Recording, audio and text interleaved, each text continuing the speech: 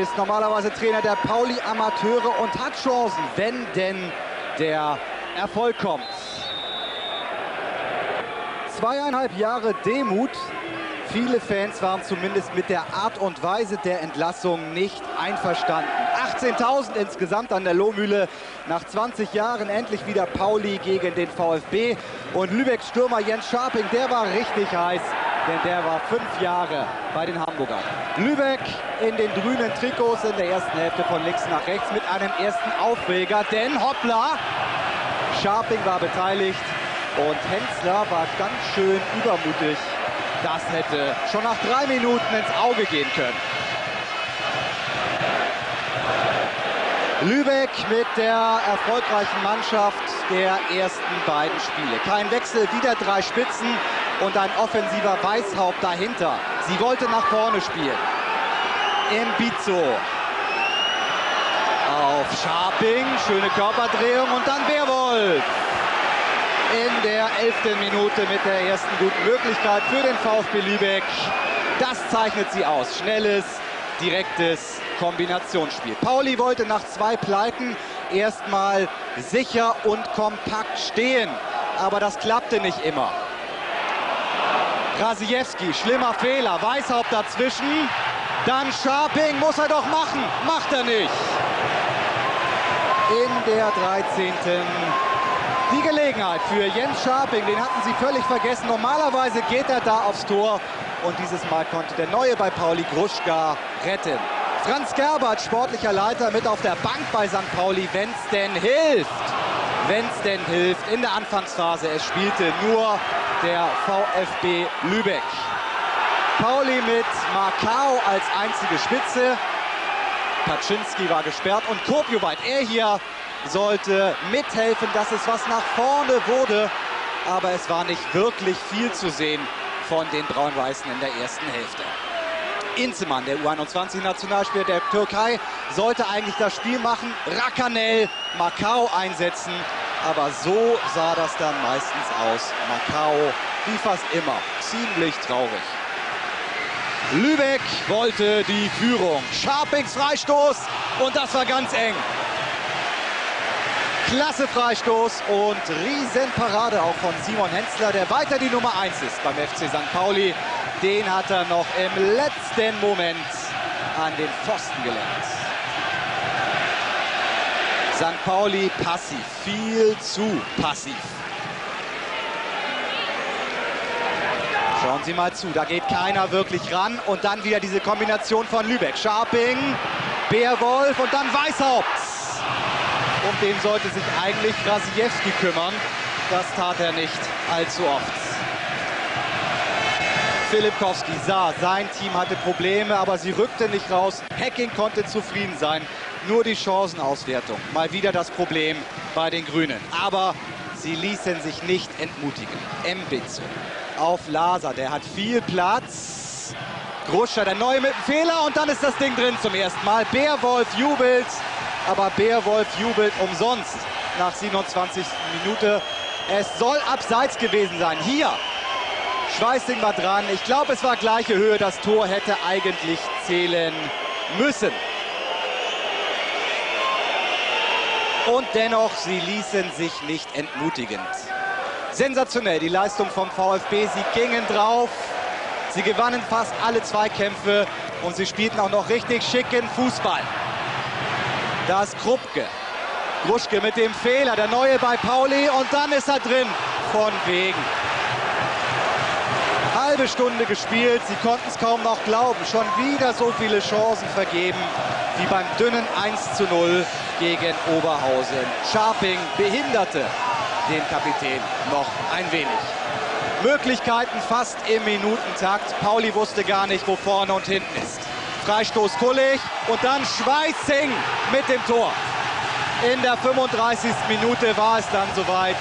Und wie sagt man so schön, ausgerechnet. Jawohl, ausgerechnet. Schweißing, der war auch mal bei Pauli, hat 40 Bundesliga-Spiele gemacht. Und dennoch kein Grund, ihn so, so alleine stehen zu lassen.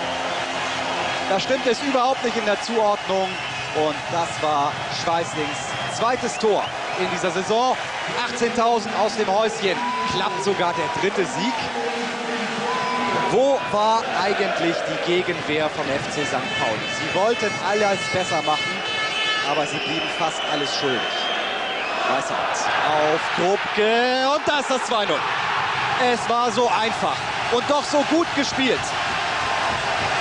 Daniel Beerwolf in der 40. mit seinem zweiten Saisontor. Gruschka rutscht vorbei und dann ist Adamu einfach nicht schnell genug, nicht clever genug. Und Beerwolf mit dem verdienten 2 zu 0. Zwei Klatschen, zweimal vier Gegentore für St. Pauli und jetzt schon wieder 0 zu 2 hin. Kommt da noch mal was? Markau setzt sich mal durch gegen Kullig. Markau in der 45. Minute mit der ersten guten Gelegenheit für den FC St. Pauli.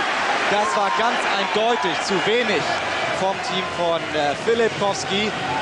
Ähm, ob sie in der zweiten Hälfte rankommen, das sehen Sie gleich. Und ich kann Ihnen versprechen, es wird eine ganze Menge passieren. Bleiben Sie dran, wir sind gleich wieder da. Zurück auf der Lohmühle mit dem 2 zu 0 für den VfB Lübeck. Und das war der Jubel von Daniel Beerwolf. Jawohl, wir sind auf Kurs. Was war mit St. Pauli? Sie kamen aus der Pause und machten etwas mehr. 50. Minute, Freistoß, Rakanel. Und dann Thorsten Traub aus dem Hintergrund. Naja, immerhin. Sie zeigten, noch, noch war nicht alles verloren. Es stand ja erst nur 2-0 für Lübeck. Scharping. Den hatten sie bislang noch einigermaßen im Griff. Dann die Flanke von Lasa. Wieder Scharping und da hinten Beerwolf. Völlig frei. Beerwolf. 3-0. 51. Minute. Das ging wie am Schnürchen. Doppelpack von Beerwolf und Hecking wusste, jetzt sind wir einen guten Schritt auf dem Weg zum nächsten Sieg. Krasiewski sieht ganz alt aus und Hensler kann da wirklich nichts mehr machen. Drittes Tor für Beerwolf. 0-3 hinten, da brannte bei einem so richtig die Sicherung durch. Ein ganz, ganz übles Ding von Ugo Inzemann und da gab es nur eine Entscheidung. Nach dieser Horrorattacke rote Karte für den jungen Türken. Gut entschieden von Referee Kienhofer. Und schauen Sie sich das mal an. Der Zorn, der Frust in den Augen von Ugo Inzemann. Das war gewollt und dann gab es noch diesen Abschied. Auch das passte irgendwie zum FC St. Pauli an diesem Abend. 0-3 hinten, da kann man sich ja eigentlich noch mal wehren, aber sie ließen Lübeck weiter kombinieren. Adamu geht vorbei und dann Bizo 4 zu 0 in der 63. Minute. Jetzt wurde es langsam peinlich für den Bundesliga-Absteiger. Erstes Tor für Ibizo. Kopjowait ließ ihn einfach mal machen.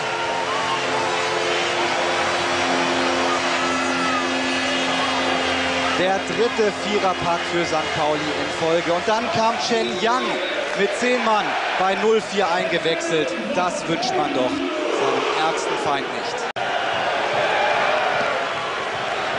Lübeck durfte weiter wunderbar kombinieren. Bizzo auf Schweißing, einer der besten heute. Und dann Beerwolf, wieder Beerwolf, aber wieder abseits. Zwei Dinger gemacht und zwei Abseitstore. Das schafft man auch nicht. Alle Tage. 65 Minuten gespielt, das Ding war durch, klar, aber Lübeck hatte immer noch nicht genug. Daniel Schuhn mittlerweile eingewechselt, der Neue aus Osnabrück und Simon Hensler war die arme Sau des FC St. Pauli an diesem Abend. Denn seine Vorderleute, die schauten einfach nur zu.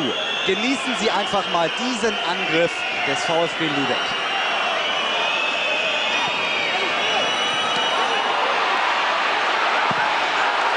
19 Sekunden bis zum 5 zu 0 von Daniel Schuhn in der 71. Minute.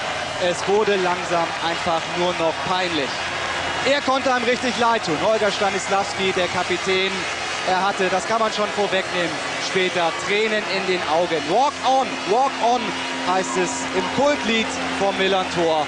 Aber das kann eigentlich nicht für die Aktionen auf dem Platz gelten. 5-0 in der 71. Minute. Diese beiden Herren hier, Gerber und Filipkowski, ratlos. Sie wollten die Wende. Es wurde der gnadenlose Abschluss. Sie denken, das war schon alles von wegen. Der VfB Lübeck, der hatte immer noch nicht genug. Das war kein Spielfilm, das war eine Demontage. Der Freistoß von Hasse. 82. Minute, bei dem ging aber auch wirklich alles. Kam aus Aue, aus der Regionalliga und macht hier sein erstes Tor. Wenn Hensler in der Torwart-Ecke steht, dann hat er ihn vielleicht, aber trotzdem, der Keeper von St. Pauli, er konnte am wenigsten für diese schlechte, mehr als schlechte Leistung. Erinnern Sie sich noch? Vor einem halben Jahr gewann St. Pauli 2 zu 1 gegen die großen Bayern. Sie ließen sechs, sieben Stammspieler gehen und jetzt, sie stehen vor einem Scherbenhaufen.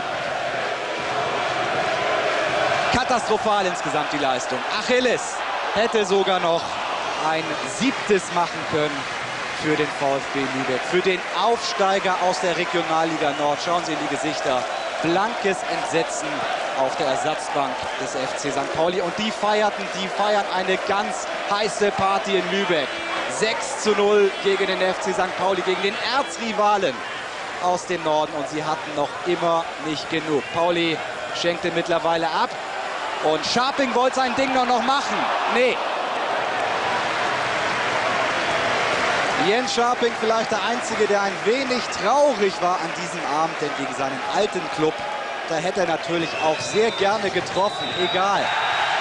Sie können es gerne glauben, 6 zu 0 gewinnt der VfB Lübeck gegen den FC St. Pauli. Vielleicht eine der bittersten Stunden in der Vereinsgeschichte.